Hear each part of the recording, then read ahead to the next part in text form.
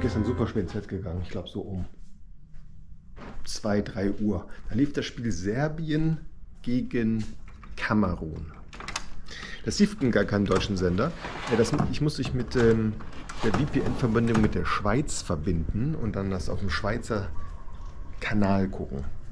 Aber das ging 3-3 aus und das war, das war wirklich spannend. So ja, es ist vielleicht das Wetter, es regnet. Aber so schlecht in Honolulu oder über der ganzen Insel kann es nicht sein. Die fliegen nämlich. Also nicht nur unsere, sondern auch Rainbow und die anderen Leute. So, da oben ist ein lauter Vogel. Oh, weggesagt. Ja, und äh, es plätschert natürlich. In der Dachrinne. Ja, mal sehen, wie das Wetter noch wird. Das sieht jetzt richtig so von Süden hoch. Und wenn ähm, das weitergeht, dann komme ich heute nicht mehr ans Meer trocken, zumindest. Dann äh, kann ich ja nicht angeln. Aber gut, jetzt gibt es erstmal einen Kaffee, dann werde ich auf jeden Fall äh, die Wäsche anschmeißen. Und ähm, um 9 Uhr, da müsste ja wieder ein Fußballspiel laufen. Muss ich mal gucken, was das, was das für eins ist, äh, ob das irgendwie interessant ist. Aber Kamerun und Serbien hört sich jetzt auch nicht super spannend an. Und war es aber. Also ich habe es noch nie erlebt, und zwar nirgendwo, ja, dass jeden Tag gesaugt wird. Also die müssen einen unheimlichen Dreck machen da oben. Ja, und dann habe ich festgestellt gestern Morgen, dass die Milch sauer ist. Also da war sowieso noch so ein bisschen übrig. Aber äh, nichtsdestotrotz, ich habe keine Milch mehr, die muss ich auf jeden Fall besorgen. Cyber Monday ist heute. Da muss ich auch nochmal gucken. Wo ich eigentlich nichts brauche mehr. Ich glaube, ich habe fast alles. Und das war's. Was zwingend notwendig ist. Tanken vielleicht. Ne? Es ist eigentlich richtig angenehm kühl. Also es ist jetzt auf keinen Fall kalt, aber es ist auf gar keinen Fall warm. Hier drin in der Bude 24,3 Grad. Also man kann die Fenster nicht offen lassen, ne? Wenn nicht ständig Lärm von oben und draußen und sonst auch wie auch immer reindröhnen würde. Draußen trübe und kühl und komplett bedeckt natürlich. Ja, der Vulkan ist ausgebrochen auf dem Big Island. Aber der bleibt im Summit, also in diesem mittleren Bereich und fließt noch nirgendwo richtig hin. Äh, das wird auf jeden Fall noch interessant. Ja, ich gucke mir das Spiel gerade an hier, äh, Portugal und äh, irgendjemand. Äh, ist noch nichts passiert. So, ich, zwei Sachen gehen heute noch zurück. Ich muss zum UPS-Store, dieser eine Staubsauger mit, dem, mit der Kordel, ähm, der ist jetzt runtergesetzt heute auf Cyber Monday auf 14 Dollar. Und ich habe dafür 21 oder so bezahlt. Geht zurück, äh, kaufe ich mir einen anderen mit äh, äh ohne Kordel. Ähm, das gebe ich halt dann 10, 20 Dollar mehr aus, aber dann äh, habe ich wenigstens einen ohne Kordel. Und ich habe einen gefunden von Eufy. Äh, das ist der. Ähm, das ist die Marke, wo mein Staubs Roboter-Staubsauger äh, her ist. Und der ist ja ganz gut. Und der soll halt richtig gut Kritiken, kostet 35 Dollar hier. Und ähm, sieht doch besser aus. Ähm, als dieser Cordless. Das ist einfach so ein Stick mit einigen Dingern. Äh, der wird besorgt und dann hole ich mir noch, äh, da ist auch ein geiler Sunday, äh, Sunday, Monday Deal, so, ein, so eine Bohrmaschine vom Deck und Decker. Kostet normalerweise 100 Dollar. Habe ich nirgendwo billiger gesehen als 60, 70 Dollar. Äh, Gibt es gerade für 40 Dollar. Das ist so ein ähm, Schrauber mit Bohr für 40 Dollar. Kann man immer gebrauchen. Äh, Kaufe ich mir auch. Ähm, und da muss ich noch mal schauen, ob ich nicht noch irgendwas finde, was ich noch ähm, wirklich brauche. Denn das brauche ich ja jetzt nicht wirklich. Also den Staubsauger auf jeden Fall fürs Auto. Also da ist ja so viel Sand so oft drin. Ähm, das besorge ich mir auf jeden Fall. Äh, eventuell noch irgendwie sowas wie ein Surfboard. Board, ähm, eine Surfboardtasche, aber die sind wirklich teuer. 100, 200 Dollar. Brauche ich eigentlich nicht. Nicht da äh, mit umgehe, weißt du, hat hier keiner. Der Chris hat eine für sein Surfboard, aber benutzt eigentlich keiner. Die hauen das einfach so aufs Dach und schnallen das an, da brauchst du keine Tasche. So. Ähm, auf jeden Fall muss ich zum UPS-Store und zum USPS äh, die Sachen zurückschicken. Äh, die, Sonnenbr die Sonnenbrillengestell und äh, dieser eine Staubsauger. Ich habe die anderen Preise, was ich von meinen Bestellungen alle gecheckt. Äh, da ist nichts günstiger geworden. Und von daher, ähm, ja, muss ich mal sehen. Ja, es regnet ununterbrochen. Haben wir mittlerweile halb zwölf. Das Spiel Portugal, Uruguay 2-0. So, ja, es ist wirklich trüb und kühl. Ja, ich kann die Fenster den ganzen Tag offen lassen. Es heizt nicht auf. Hier drin 24,6 Grad, hat sich überhaupt nicht geändert. So, jetzt muss ich trotzdem mal zum Post Office und zum UPS Store die beiden Sachen zurückschicken. Ähm, ich habe noch ohne eine Sache bestellt. äh, und dann muss ich zu Costco tanken und Milch holen. Mal gucken. Ähm, das ist der Plan. Und wenn es zwischendurch, ne, wenn ich da so in der Nähe bin bei Costco, am Meer so aussieht, als würde es mal nicht regnen, was es zurzeit nicht tut, ähm, dann gehe ich auch mal ein bisschen angeln. Aber danach sieht es noch nicht aus. So, Wäsche ist durch, äh, die kommt jetzt in den Trockner und dann gucken wir mal, was der Tag noch so bringt. Es wird auf jeden Fall geflogen. Rainbow fliegt und wir fliegen auch, obwohl das Wetter eher ist nicht so geil. Aber die Wolken sind halt nicht so, äh, tief genug. Es regnet halt nur. So sind wir unterwegs. Postbote ist auch gerade da. Bringt neue Pakete. Ich habe schon gesehen, ein Paket ist da. Von Fisherman's Life, dem YouTuber aus Kalifornien. Da habe ich ja einiges an Jigs nachbestellt. Die verliert man ja so schnell. Und die sind auch so schon die günstigsten und besten, die man so kaufen kann. Die 20, 30 Gramm Dinger. Und mit dem Black Friday Deal 3,40 Dollar anstatt 4 Dollar oder 4,50 Dollar für die 30 Gramm. Ähm, ja, kriegt man normalerweise nicht unter 5 Dollar. Da habe ich mir einiges bestellt. Oh, jo, jetzt geht's zu dem Post, der Post, UPS, überall Sachen zurückschicken, diesen komischen Staubsauger und die Brille. Dann eventuell tanken und auf jeden Fall Milch. Mehr brauche ich eigentlich nicht. Also der Tank ist noch halb voll, ja, aber ähm, kann man ja an einem kühleren Tag mal nutzen. Und an einem regnerischen Tag. Ich habe eh nichts vor. So, alle Pakete abgegeben. Es waren ja nur zwei. Das ist auch super unkompliziert. Beim äh, United Postal Service, da schmeißt man es einfach nur in Container und bei UPS, da scannen die einfach nur den Code. Braucht man es nicht mal verpacken. Und nix. Von daher, ja. So, jetzt geht's zu Costco, das ist direkt hier um die Ecke. Eventuell gehe ich noch bei Target vorbei, aber Cyber, äh, nee, hier Black Friday ist ja eigentlich vorbei. Geht ja alles mehr oder weniger online. Von daher, ja, ja Costco Milch. Gucken, was ich sonst noch so mitnehme.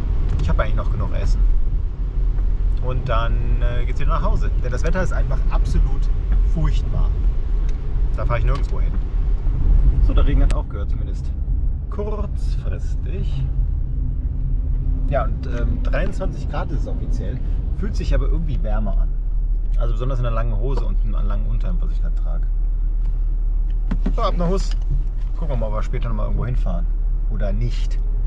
Aber ich glaube, das ist eher eine Regenpause und nicht ähm, das Ende. Ich habe mir immer diese Billigpapiertücher bei Walmart geholt. Da bin ich gerade mal vorbeigefahren. Ja. Und da sieht man ja also die Inflation sehr deutlich. Da habe ich immer nur 49 Cent für bezahlt. Ja. Die sind super dünn, sind kaum irgendwelche Dinger dran. Ja. Dann ging es hoch auf 55 Cent, dann auf 65 Cent. Und 65 Cent ist ja schon happig. Und dann wollte ich mir die holen gerade. Kostet jetzt plötzlich 78 Cent.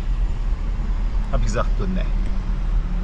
Also die lauten Nachbarn von oben, ja, die scheinen ja Weihnachten wirklich zu lieben. Nicht nur, dass die das komplette Geländer hinten zum Garten raus am Balkon mit Lichtern vollgepackt haben. Die haben auch oben alles und hinten und vorne. Und jetzt sehe ich hier gerade, der ganze Eingangsbereich, sieht man wahrscheinlich hier nicht so gut, voller Weihnachtskram, inklusive Kugeln und hast du nicht gesehen. Wahnsinn. Ja, ich habe mir auch überlegt, ein paar Lichter zu holen. Ich habe sogar welche für 2,50 gesehen. 100 Lichter in grün, rot, blau oder weiß halt. Habe ich gesagt, nee, brauche ich nicht. Wieder zu Hause. Alles erledigt, was ich erledigen wollte. Ja, es regnet gerade nicht. Mal gucken, ob ich nachher. Dann muss ich mal gut die High Tide, Low Tide checken. Vielleicht fahre ich einfach nachher mal ein bisschen angeln. Ich hätte jetzt auch keine richtigen Klamotten dafür an. Ähm, ja, ich habe mir den Staubsauger fürs Auto gekauft. Es gibt einen 30H, aber der kostet 119 Dollar. Äh, ich habe mir den 20H gekauft. Kostet immerhin noch 80 Dollar, aber soll eine starke Saugkraft haben. Ist ein schöner, sehr cooler Staubsauger fürs Auto. Und hat er, der hat auch keine Kordel. So, es sind zwei weitere Pakete hier angekommen. Hier das Angelzeug. Ich muss mal gucken, was das ist. Ein bisschen beschädigt. Ja. Ähm, und äh, Vitamin C habe ich auch geholt, denn das äh, meins geht zur Neige. Und ähm, das hatte ich mir eigentlich schon auf Amazon bestellt, aber hier kostet eine Tablette nur 3 Cent und das auf Amazon das günstigste 4 Cent. Von daher äh, habe ich die Order rückgängig gemacht. So, jetzt entspanne ich mich erst ein bisschen, spiele eine Runde Poker, ähm, lade ein Video hoch und check die Tides. Vielleicht noch ein paar Cyber Monday Deals. Denn ähm, eigentlich habe ich alles bekommen, was ich wollte. Restlos alles. Mein Laptop wurde heute verschickt. Das heißt, er kommt demnächst, mein neuer. Nice. Ja, meine Jigs sind angekommen. Damit komme ich, komm ich hoffentlich erstmal eine Weile hin hier. 2, 4, 6, 8, 10, 12, 12, wie auch immer. Also bis ich da die alle verloren habe, äh, das dauert hoffentlich eine Weile. Obwohl man die schnell verliert, da sind richtig geile Haken dran. In beiden Paketen war was drin, wo habe ich gedacht so, ey, das habe ich auch gar nicht bestellt, das wollte ich ja gar nicht. Umsonst. Äh, diese, das, das, kostet normalerweise 10 Dollar hier, diese Cable Baiter Dingsbums. Ähm, die steckt man so in den Fisch mit dem Haken, bla bla bla. Ähm, habe ich umsonst bekommen. Und bei dem Vape Juice Zeug, das war das zweite Paket, äh, da habe ich auch einen Vape Juice umsonst äh, bekommen. Diese Black Friday Deals sind echt der Wahnsinn. 50% off gab es auf dem Vape Juice, das gibt es nur einmal im Jahr. Und hier bei Fisherman's Life, da gab es äh, 30% off, plus nochmal so ein Coupon für, äh, für Altkunden. Da habe ich mir natürlich diese Angeltasche, die da in der Ecke steht, ja, da. Die habe ich mir irgendwann bestellt, weil ich die unbedingt haben wollte. Die ist richtig geil. Das ist ein Rucksack, eine Tasche mit allem. Und da habe ich, glaube ich, 70 oder 80 Dollar für bezahlt. Und die gab es jetzt für 63 oder 64 Dollar. Also. Aber musste ich haben, habe ich bisher noch nicht benutzt. Musste ich aber haben, ist richtig geil. Richtig geiles Material, kriegt man normalerweise nicht. Und dieser YouTuber, der, der äh, lässt die selber herstellen und so weiter. Und von daher, äh, der macht richtig geile Sachen. Und diese Jigs äh, für 3,40 Dollar, Hammer. Und wie gesagt, da habe ich ja diesen Papio mitgefangen. Also die, äh, die funktionieren hier auf jeden Fall. Da muss man nur aufpassen, dass man äh, da nicht in die Nähe von einer, einer, von einer Koralle kommt. Da bleibt der direkt hängen. Aber gut, jetzt habe ich 20 Stück. Bis die weg sind. Das dauert hoffentlich bis zum nächsten Black Friday. Okay. Nice. So, ich habe jetzt gesehen, äh, wegen Wetter. Der Markus konnte heute Morgen zweimal fliegen und sein Nachmittagsflug und der Koji, sein Nachmittagsflug mussten beide abgesagt werden. Auf dem Big Island ist, man, ist genau vor der oder über der Lava ist äh, eine Flight Restriction, weil da so viel Asche in der Luft ist und äh, da darf man nicht fliegen. Das heißt, die Flüge werden da alle auch abgesagt. Ja, ich habe ähm, YouTube-Videos gefunden. Also da, da ist richtig Lava am Start das ist jetzt, nicht jetzt super krass am Erupten, aber eigentlich schon. Aber es fließt jetzt halt noch nicht so richtig krass den Berg runter in Richtung äh, Populated Area. Aber, mein lieber Mann, das ähm, sieht gut aus. Da muss ich demnächst mal hin und ähm, mit Blue Hawaii drüber fliegen. Da habe ich äh, richtig Bock drauf. Halb sieben mittlerweile. Eingeschlafen bin ich. Ey, diese neue Alexa, ey, die hat voll den krassen Bass. Also wenn ich das vergleiche mit der Generation 2, was ich in, äh, in der Küche stehen habe, ne? Das ist ja Wahnsinn. So, jetzt muss ich mal meine, mein Bett beziehen und Wäsche zusammenlegen. So, die Lava ja, auf dem Big Island, die fließt wohl nordwärts, ähm, weg vom Populated Area. Und Blue Hawaii ist ja wirklich schlau. Ne? Die haben direkt eine neue Tour kre kreiert die Blue Hawaiian Eruption Tour. 60 Minuten lang. Kostet wahrscheinlich einiges. Aber äh, die muss ich auf jeden Fall demnächst mal machen. Da muss ich mal jumpseaten zum Big Island, dann fliege ich da umsonst mal zum, zur Lava und dann fliege ich wieder zurück umsonst. Ähm, das ist ja wirklich sehr, sehr cool hier. Seit der erste Vulkan, also der erste, erste Ausbruch dieses Vulkans seit 1984, um genau zu sein, April 1984. Und ja, historisches Event, historischer Event. Ja. Und ähm, ja, das wird jetzt angeboten da. Hammer. Das hier, Blue Hawaiian war, äh, ist kre kreiert worden in 1985. Das heißt, ein Jahr nachdem äh, das Ding zuletzt äh, gesprudelt ist. Hammer cool, Mann. 84. Das sind 28, 38 Jahre. Ja, ich bin auch mal ein bisschen müde, wenn ich das jetzt nicht richtig gerechnet habe. Aber äh, ja, so ein Press Release wurde ra äh, sogar rausgegeben, offiziell. Ähm, Presseverkündung. Äh, Mauna Loa Eruption Tour. Duschen weich, Bett ist neu bezogen, Wäsche zusammengelegt. Mittlerweile kurz nach neun. Video schneide ich jetzt gerade noch zusammen. Ähm, irgendwas soll ich noch sagen, weiß ich aber nicht. Äh, zum Abendessen gab es eine Schoki. Ja, ähm, also obwohl ich eigentlich einiges an Schokolade esse, nehme ich trotzdem zurzeit nicht zu, wo ich mich jetzt auch nicht übermäßig sportlich betätige. Mm, ja, das mit dem Vulkanausbruch ist ja wirklich ähm, äußerst spannend. Kein immediate threat für irgendwelche Leute auf dem Big Island, aber trotzdem ein Spektakel der absoluten Sonderklasse. Ähm, ist natürlich auch gut für Blue Hawaiian, ist ja klar. Ähm, ja. Und jetzt gucke ich mir noch einen Film an. Das YouTube-Video von heute schneide ich noch zusammen. Cyber Monday ist in einer Stunde vorbei. Ich habe noch mehrmals geguckt, das kann ich ja noch brauchen. Ich habe so viel bestellt. Davon geht eventuell ein, zwei, drei, vier Dinge noch zurück. Ich habe mir dann im Endeffekt auch Dinge bestellt, die, die brauche ich nicht wirklich.